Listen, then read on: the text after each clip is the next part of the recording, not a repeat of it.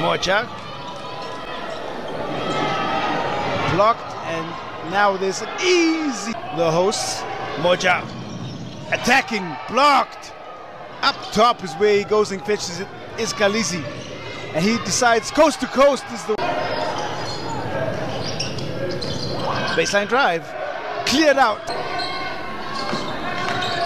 Inside they go Kalizi again. Nothing perimeter. Much needed score. Siame. Drop off. Beautiful play. Moja. Working.